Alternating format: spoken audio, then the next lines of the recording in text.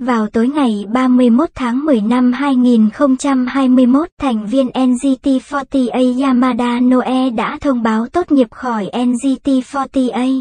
Cô ấy đã tiết lộ rằng sau khi tốt nghiệp khỏi nhóm vào tháng 2 năm 2022 thì cô ấy cũng sẽ rút lui khỏi giới giải trí.